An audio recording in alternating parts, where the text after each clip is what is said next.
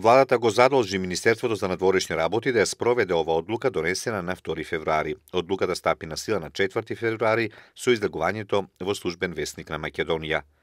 Инаку 10 февруари е денот на руската дипломатија кој традиционално се одбележува во Битола. Пред рускиот крст цвеќе положи и се поклонија амбасадорот на Руската Федерација во Македонија Олег Шчербак и почесната конзулка Даринка Карстанова. Одбележувањето на овој датум обитува се случи на 11 овој месец, скоро 7 дена по излегувањето на одлуката во службен вестник. Карстанова вели дека се уште не е извршена промена во консуларното представништво во Битола. Република Македонија даде согласност за тоа. Постапката не била завршена затоа што немале патентни писма од Руската Федерација, ниту екзекватури од Република Македонија, објаснува Карстанова.